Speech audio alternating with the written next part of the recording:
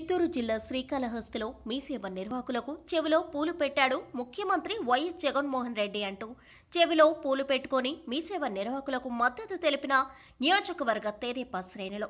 అనంతరం తెదేపా నాయకులు మాట్లాడుతూ ఎన్నో ఏళ్ళుగా మీసేవని నమ్ముకుని జీవనం గడుపుతున్న మీసేవ నిర్వాహకులకు కడుపు కొడుతూ మీసేవలు ఎత్తివేయడం దారుణమైన చర్య అని మీసేవ నిర్వాహకులు వారి కుటుంబాలు రోడ్డున పడే పరిస్థితి వస్తుంది. వారి పరిస్థితిని అర్థం చేసుకొని వారిని అనుభవాన్ని పరిగణలోకి తీసుకొని వారిని ఉన్నత సచివాలయాల్లో ఉద్యోగ అవకాశాలు కల్పించాలని డిమాండ్ చేశారు.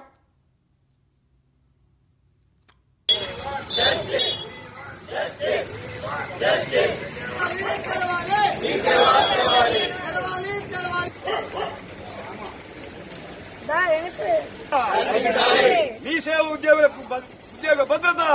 తెలుగుదేశం పార్టీ కార్యకర్తలందరూ కూడా సమిష్టిగా ఇక్కడికి వచ్చి మీ సేవ ఉద్యోగాలకి సంఘీభావం తెలపడం జరిగింది.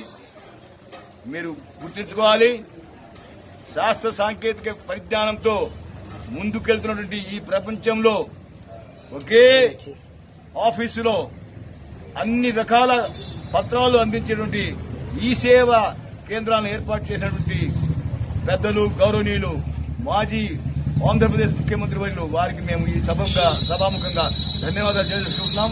ఆ తర్వాత మీ సేవగా దాన్ని మార్పు చేశారు.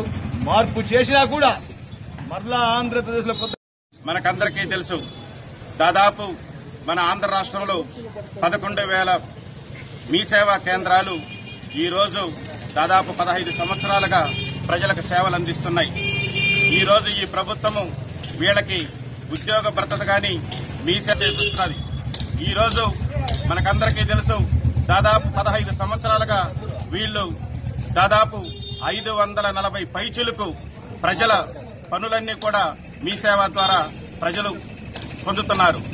ఇప్పుడు గ్రామ సచివాలయాల పేరిట మీ సేవలకన్నిటికీ కూడా మూసివేయాలనే ఉద్దేశంతో ఈ ప్రభుత్వము వీళ్ళ కడుపు కొట్టాలనే ప్రయత్నం చేస్తుంది. దీనికన్నిటికీ కూడా మేము తెలుగుదేశం పార్టీ తరపున వీళ్ళకందరికీ అండగా ఉంటామనేది కూడా తెలియపరుస్తున్నాం.